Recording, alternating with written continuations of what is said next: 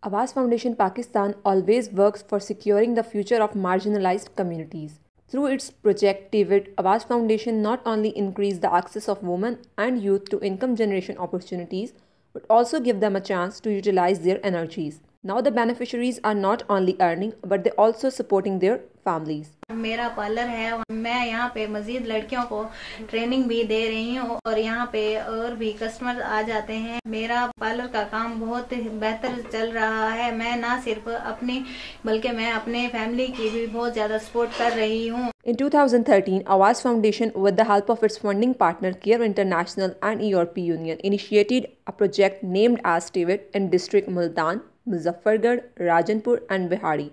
Under this project, Awas Foundation enrolled 2,555 young girls, boys and rural women from remote areas and also bear their all travel expenses.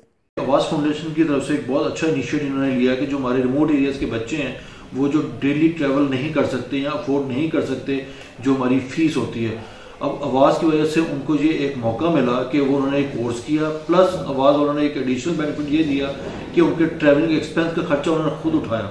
Different free courses were offered for the young girls and boys that includes beautician tailoring computer welding electrician food and beverages chef and front office After completion of the courses, students were awarded with certificates, toolkits, for starting or expanding their own business on micro level. जो बच्चों ने जो course किया है, इस हवाले से भी ये बहुत अच्छा किरदार है कि ऐसे बच्चे जो अपना खर्चा बर्दाश्त नहीं कर सकते थे, इनको कोर्सेज करवाए गए, मुफ़्त कोर्सेज करवाए गए और उनको ट्रांसपोर्टेशन का खर्चा दिया गया फिर उन्होंने कोर्सेज यहाँ से कर लिए और वहाँ अपने अपने इलाके में जाकर ये अपना काम वो स्टार्ट कर सकेंगे और कुछ लड़कों का ये भी पता चला है कि इन्होंने वहाँ कोर्स जो हैं जो करके अपना अपना काम शुरू कर दिया है आवास फाउंडेशन ने इन बच्चों को टूल किट्स भी दी हैं ताकि ये अपना काम खुद कर सकें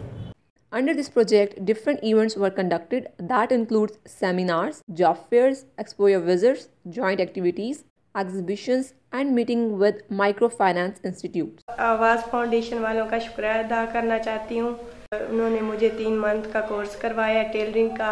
आवाज़ फाउंडेशन वालों ने मुझे एक मशीन सिलाई मशीन भी दी है।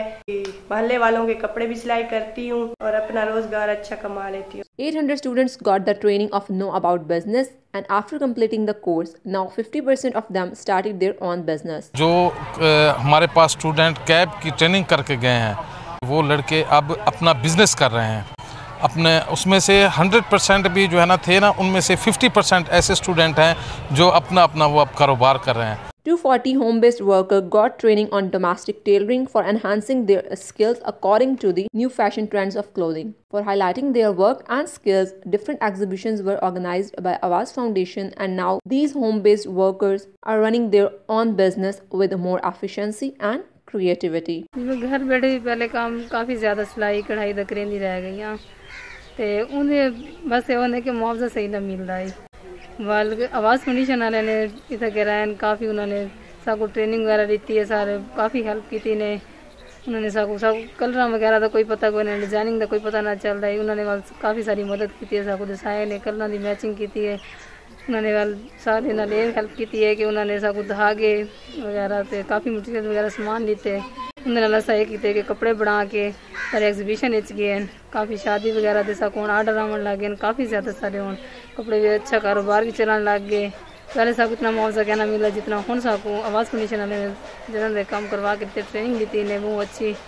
इन्हें सारे हूँ कारोबार भी अच्छा चल रहा है माशाल्लाह सारे घर का गुजारा भी अच्छा चल रहा है Present era young generation and women are very talented. Only the need is to show them a right path and provide such kind of opportunities to them that not only enhance their skill but also provide them a right path for utilizing their skills and energies.